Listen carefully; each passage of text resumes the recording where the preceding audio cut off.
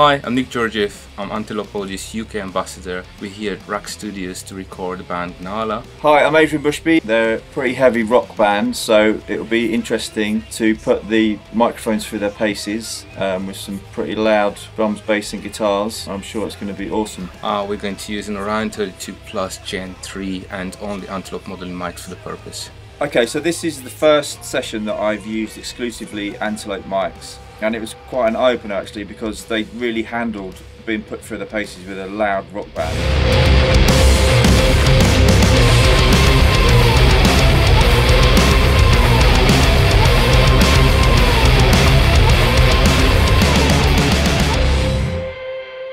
So one really nice thing about the Orion 32 Plus is that it's got built-in effects that are handled by the FPGA chips. And so what we did today is we tracked the vocals with processing on the way into Pro Tools and it was actually a very easy experience. It didn't add any additional latency. It didn't, you know, force us to increase the buffer in Pro Tools. Okay, so when we were tracking the guitars, I started to look into the mic modeling software and not just the, the mic changes, it was also the polar patterns that you could change. And I must admit, the effect on the sound was quite outstanding. The song was such that it required us to lay a lot of guitars and one thing which Adrian tried to do is to change the polar pattern and the model for the different takes. That way like, every layer would actually have a slightly different character and sound. Okay, so we're now we've moved into the live room. We're going to have a quick look around the drum mics and see how we've set it up with uh, which mics we've used. So we've gone for the kick drum first, we start with that. We've gone for the verge on this. This mic can handle quite high SPL levels and as you can see I've got it quite in there because obviously for this sort of band you want quite a tacky bass drum. It's going to cut through everything. So this side of the kit we've got uh, top and bottom on the snare which again is the verge. Same reason really, handles the SPL nicely and yeah I'm just I must say I'm very impressed with the response that it's getting off the off of the snare. Definitely the attack and the top end is really really quick. Same with the hats really. They're just they're just really present and there. So I'm, I'm, I'm quite pleased with that. And then we've got a little trick over here which is quite a nice one. If, if you put this microphone, which is a duo, if you put that sideways facing into the snare here, the bottom side of the capture will pick up the kick and the top capture will pick up the bottom snare as well. And if you use the mic modeling software, you can play around with uh, figure of eight setting and it's a really cool um, effect that you can hear. You get basically you can get the whole kick, kick, snare, toms as well really off of that one mic and it's really quite a remarkable effect that you can get from that. Those many symbols, but the thing is that because it's in figure of eight, it picks both the top and the bottom, bottom of, the snare, snare yeah. And because it's figure of eight mics generally have like really strong proximity effect when you're that close to the kick you actually get a lot of low end boost. For the tom mics we selected two different types here so we used the Verge for the floor tom. With the rack tom we were getting quite a lot of spill from this cymbal. We went away from the Verge mic and went to a solo which you can angle away from the, the, the problem area which was this cymbal. That's all quite logical because both mics have fixed cardioid and so this one is a side addressed mic, easy to position and this one is already facing, you know, the back of the mic's facing the cymbals. So therefore I think we get a really good rejection with it. Okay, so with the overheads and rooms, we decided to use the Edge Duos so we could use different polar patterns at a later stage in the mix, really, or, or a later stage in the recording. Because if you had selected a solo, you'd have, only, you'd have been stuck with cardioid. So this way we can use figure of eight, omni, and it gives us a wider array of, of emulations in the microphone section to use. So over here, we decided to have a little, uh, little bit of fun.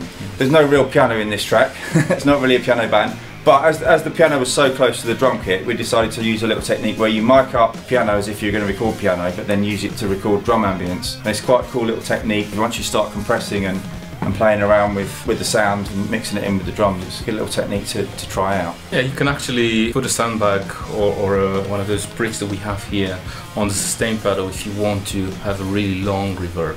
You know, I'm very curious about the way you approached the session and you know how you actually did some overdubbing with it.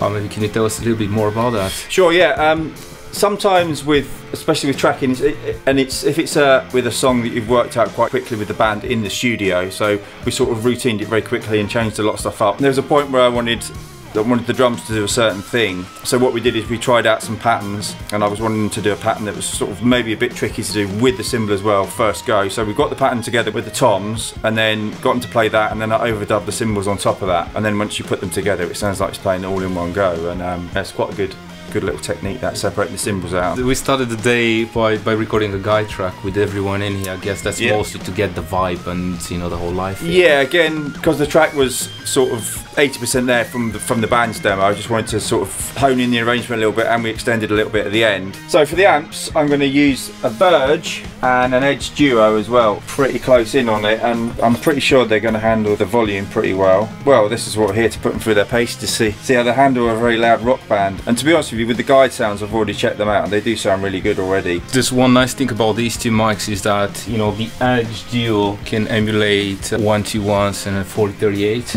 ah, Okay. and the Verge can emulate dynamic mics, so that can give you that classic Oh, okay. combo of Yeah. the ribbon with the dynamic if that's what you're aiming for. We've got the bass over there, we've got uh, Ampeg.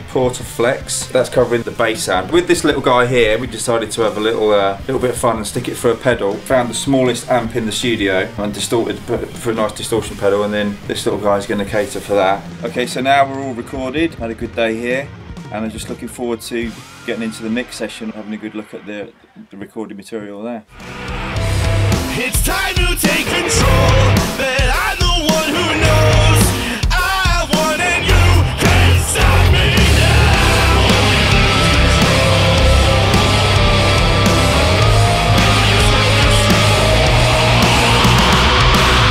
Hi guys, okay so um, we finished our recording session at RAK. Now we've brought the recording material back to my home studio, which I'm lucky enough to have at my house. And we're going to go through the song, start mixing it with Antelope Audio plugins and also the help of my trusty SSL. Yeah, when we recorded the track, we exclusively used the Antelope audio microphones because I wanted to see what that would achieve to be able to switch the emulations to see what you could create from that. And now I'm, I'm, I'm bringing it back and I can I listen to each of the tracks and, and select a, a mic emulation that's, that suits it. As I've gone through the mix, a lot of the mic emulations I've selected are not necessarily mics I would have gone to for that instrument. So it's, it's very interesting to see how you can really easily just select each model and see what it does to the source, the closeness of the source sound and also what's around it. It's just a brilliant way of working to, to really quickly select something that works right for that track.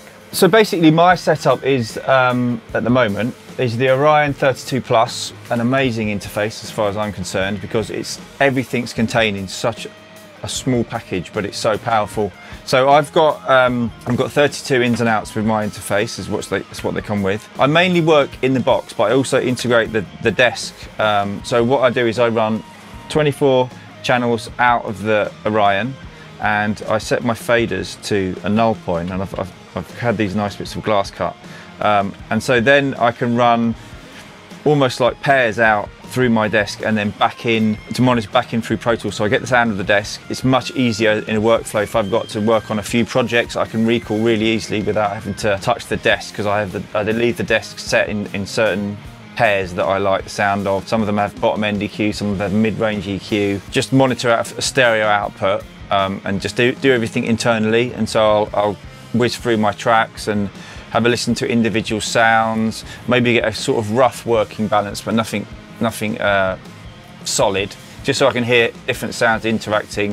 Uh, and I'll put a little bit of EQ on with some plugins maybe, uh, but not too much. And then once I've got everything in as like a rough balance, then I'll start splitting stuff out into the desk and diving into it a bit more and sort of sonics of of what's going on. And then obviously I can use my, my mix bus compressor. And sometimes I'll, I'll pop in some stereo EQ as well. So what I did initially was I went, I had a listen to, obviously started, not obviously, but I normally start off with the drums. Um, and I just went through the mic emulation first off, just to check out what the different mics were doing to that, to the sound really. So for example, let's turn that group off with the kick drum. I ended up selecting this microphone not the uh, obviously not my go-to mic for a bass drum, but it was just so brilliant to be able to just whiz through the different different um, models and hear immediately the different sound. And that one just came to life. It had all the thud, it had all the front as well. Because I, I, was thinking maybe that I'm assuming that's a 57. Yeah, it looks like one. That maybe that was going to work for the kick, but that one, the SM7 one, sort of was second in the list, but that one just had it all for me. Yeah, so the, so the, the Verge mic that we used on it, again, it's a good source sound, um, but I think the uh, that just really brought it to life for me, gave it the thud and the punch that that it needed. And I did the same with the snare.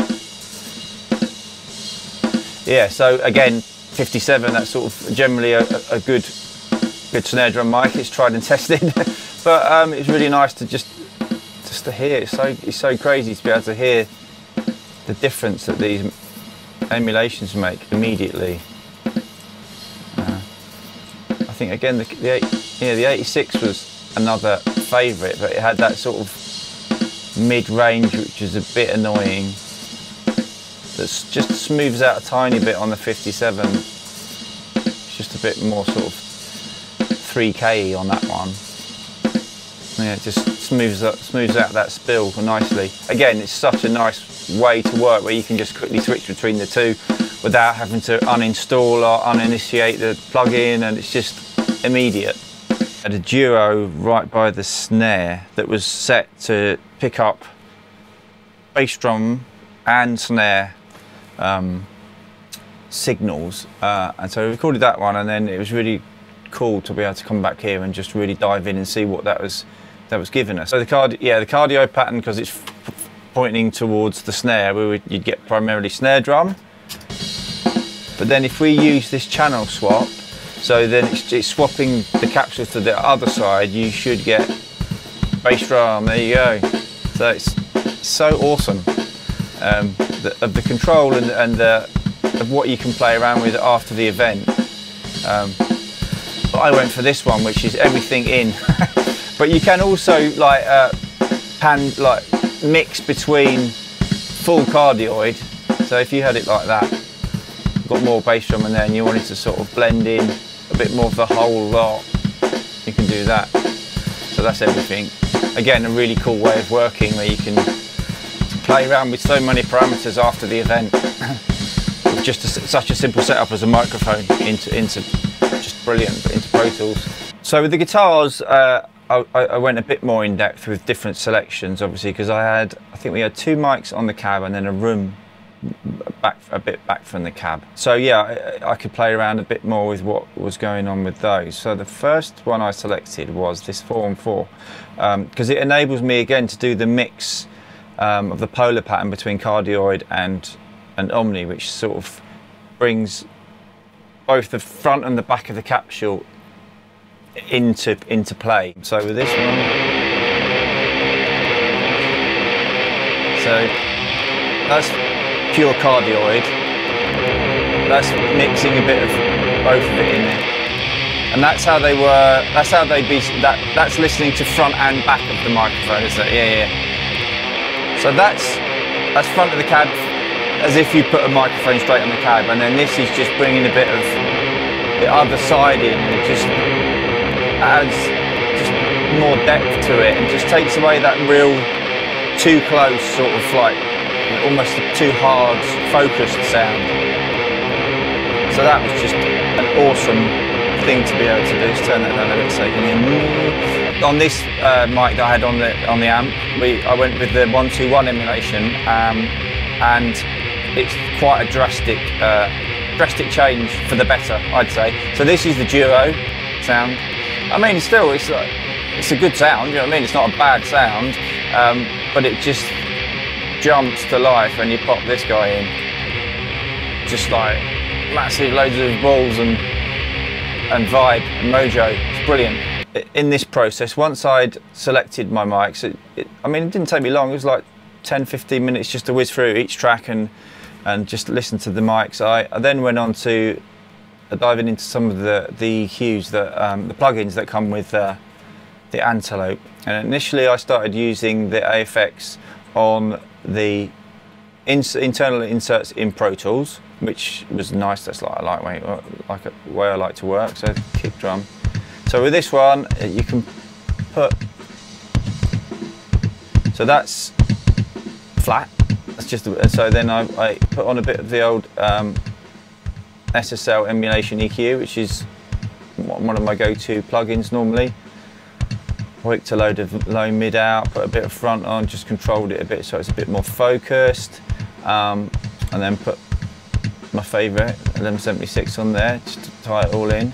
Once I'd had a fiddle with individual tracks and had a balance, I then split it out into pairs so I could have it up the desk. So drums, bass, guitars, vocals, um, and then that enabled me to be able to put up master tracks in Pro Tools, and I could then delve into the other side of the Antelope. We've set it up in, in the control panel, so basically 17, 18, 19, 20, 21, 22, and 23, 24 have all got, um, you can use those as hardware inserts. Set that on your master track, and then you go into your control panel, and you can start to, so this is my pair that says 17, 18 there, and then I can start to do the same process with the plugins that I was doing in, in, in Pro Tools, but just um, running it off from the control panel. So for the drums, again, I did a, an SSL um, emulation, similar to what I do on there really. So a bit of very high top end, wide, wide band, uh, high mid. Didn't really touch the low mids because I've done a bit of scooping on the individual tracks and then a bit there. Again, not, nothing too drastic. I, you can bypass, you can bypass the individual ones here. So that's with nothing on. So then a bit of that, a bit of high end, just to bring out the, the, the sparkle up there. A bit that for a punch. God, they're so good. They're so good. Oh, sorry, I'm just raving about.